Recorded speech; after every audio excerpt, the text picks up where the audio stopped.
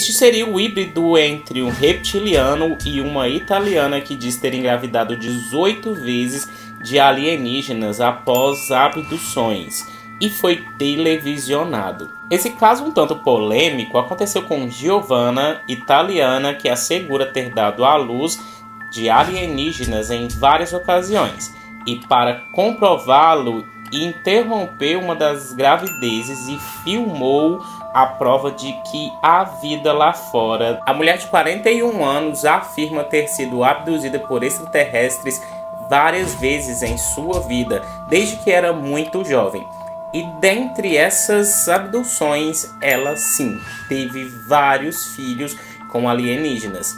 Porém, eles a abduziam, faziam nela inseminação artificial e depois de dois meses retiravam os fetos para proliferar a sua suposta civilização novamente. Segundo ela, foi escolhida por esses extraterrestres porque era biocompatível, ou seja, eles têm uma genética semelhante à dos humanos.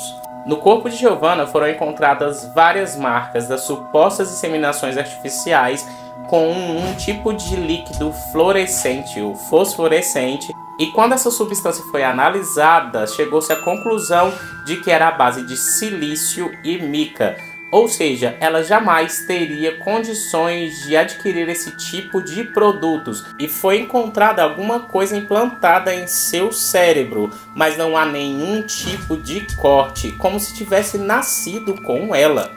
O objeto foi considerado de origem indeterminada.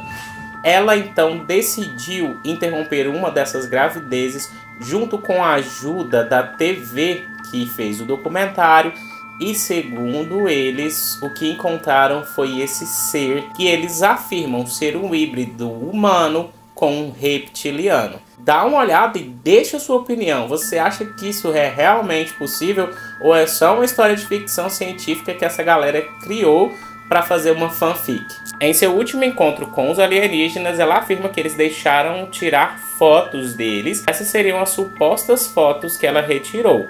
E também, segundo ela, durante sua última abdução, ela conseguiu filmar a nave alienígena que a raptou.